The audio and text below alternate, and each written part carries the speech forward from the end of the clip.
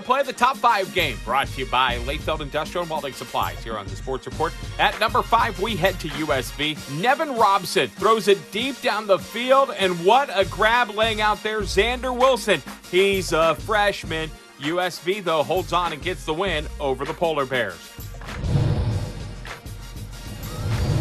At number four, we've seen a lot of Coldwater this year on the top five, and deservedly so. Reese Dellinger at the controls. Tyler Two, sweet Schwieterman with the huge touchdown grab against St. Henry. The Redskins knock off the top ranked Cavaliers 21 14.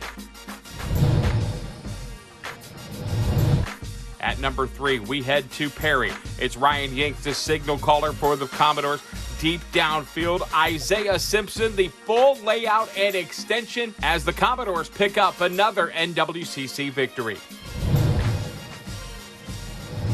At number two, we head to the soccer pitch late Saturday night. Jude Spallinger of Bluffton, five seconds to play, squeaks it by the Riverdale goalie. It gives a little emphatic shirt toss as well as the Pirates pick up the win, three to two.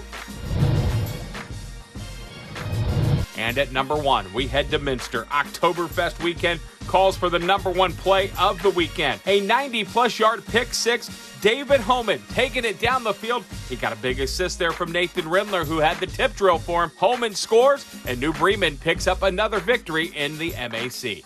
And that is your latest Layfield Industrial Welding Supplies top five on the Sports Report.